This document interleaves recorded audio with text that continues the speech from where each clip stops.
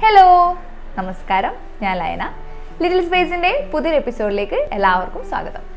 ഓൺലൈനൊക്കെ search ചെയ്യുമ്പോൾ നമുക്ക് മനസ്സിലാവും ഒരു ആയിരത്തി അഞ്ഞൂറ് രൂപ രണ്ടായിരം രൂപ മുകളിലെ വിലയുള്ള ഒരു പ്ലാന്റാണ് മോൺസ്റ്റാർ ഡെലീഷ്യോസ അപ്പോൾ മോൺസ്റ്റാർ ഡെലീഷ്യോസ എന്ന് തെറ്റിദ്ധരിക്കപ്പെടാവുന്ന ഒരിനം പ്ലാന്റാണ് ഈ കാണുന്ന എപ്പിപ്രമനം പിന്നാറ്റം ഈ പ്ലാന്റിനെ കുറിച്ചുള്ള വിശേഷങ്ങളാണ് ഇന്നത്തെ നമ്മുടെ വീഡിയോ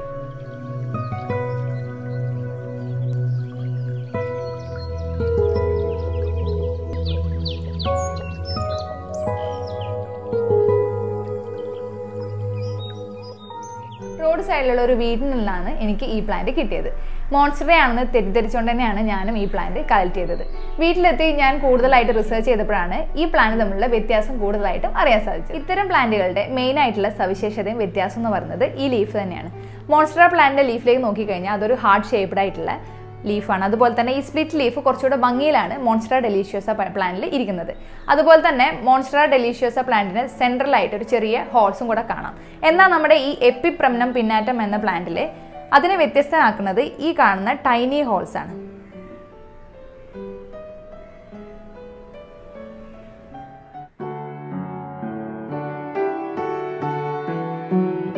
പ്ലാന്റിന്റെ മറ്റൊരു പ്രത്യേകതയാണ് ഇത്രയും നീളത്തിലുള്ള ഈ ലീഫ് ഏകദേശം ഇരുപത് അമ്പത് സെന്റിമീറ്റർ നീളത്തിലാണ് ഇത് വളരുന്നത്.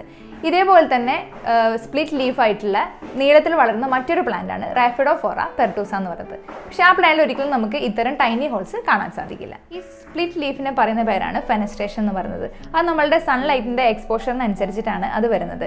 ഈ ലീഫിലേക്ക് നോക്കിക്കഴിഞ്ഞാൽ നമുക്ക് ആ ഫെനസ്ട്രേഷൻ കാണാൻ സാധിക്കില്ല.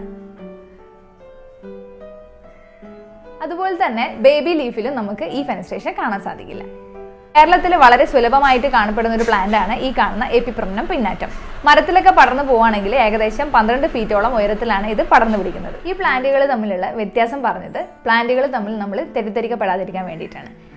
എന്നാൽ ഈ പ്ലാന്റ് ഒട്ടും മോശക്കാരനല്ല നല്ലൊരു ഓർണമെന്റൽ പ്ലാന്റ് ആയിട്ട് ഇൻഡോർ ആയിട്ടും ഔട്ട്ഡോർ ആയിട്ടും ഇൻഡയറക്ട് ബ്രൈറ്റ് ലൈറ്റ് നമുക്ക് വളർത്താൻ പറ്റുന്ന ഒരു പ്ലാന്റ് ആണ് ഈ കാണുന്ന എപ്പിപ്രമനം പിന്നാറ്റം പ്ലാന്റ് നല്ലൊരു എയർ പ്യൂരിഫയിങ് പ്ലാന്റ് കൂടിയാണ്. നമ്മൾ കോറിഡോറിലോ ബാൽക്കണിയിലോ ഒക്കെ വെച്ച് കഴിഞ്ഞാൽ വളരെ ഭംഗിയിൽ അത്യാവശ്യം സ്പേസ് കവർ ചെയ്തുകൊണ്ട് വളർന്നു വരുന്നൊരു പ്ലാന്റ് ആണ്. നമ്മുടെ തമ്പനയിൽ കണ്ട പോലെ തന്നെ ഈ പ്ലാന്റ് ഒരു ടോക്സി പ്ലാന്റ് കൂടിയാണ്. സാധാരണയായിട്ടുള്ള ഇൻഡോർ എയർ പ്യൂരിഫയിങ് പ്ലാന്റ് ഒക്കെ തന്നെ ടോക്സിസിറ്റി ഉള്ളതാണ്. ലാർജ് ക്വാണ്ടിറ്റിയിൽ നമ്മളിത് കൺസ്യൂം ചെയ്യാൻ ഇടയായി കഴിഞ്ഞാൽ നമുക്ക് ഡയറിയ പോലുള്ള ബുദ്ധിമുട്ടുകൾ ഉണ്ടാവും. ഞാൻ ഇതിന്റെ ചെറിയ പ്ലാന്റുകൾ വെള്ളത്തിൽ വെച്ചിട്ട് വാട്ടർ പ്രൊപ്പഗേഷന് വേണ്ടിയിട്ട് വെച്ചതാണ്.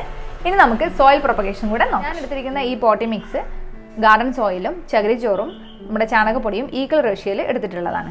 നമ്മുടെ ഈ പ്ലാന്റിന് പടർന്നു പിടിക്കാനായിട്ട് ഒരു കോയർ സ്റ്റിക്ക് കൂടെ ഞാൻ റെഡിയാക്കിയിട്ടുണ്ട് ഇപ്പോൾ നമ്മൾ പ്ലാന്റിനെ കോയർ സ്റ്റിക്കൊക്കെ വെച്ചിട്ട് റെഡിയാക്കിയിട്ടുണ്ട്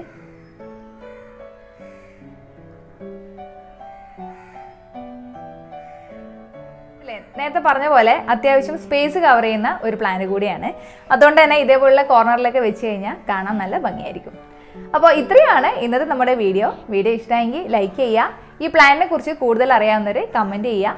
ചാനൽ സബ്സ്ക്രൈബ് ചെയ്യാത്തവർ സബ്സ്ക്രൈബ് ചെയ്യുക. Thank for watching little space